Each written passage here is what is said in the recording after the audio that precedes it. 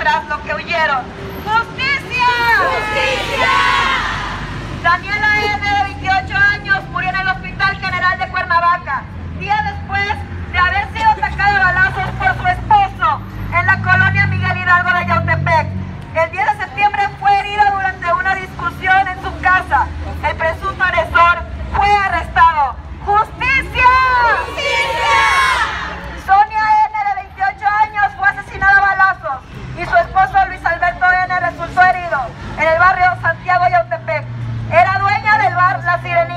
El cual fue incendiado hace meses tras lo que un cliente perdió la vida.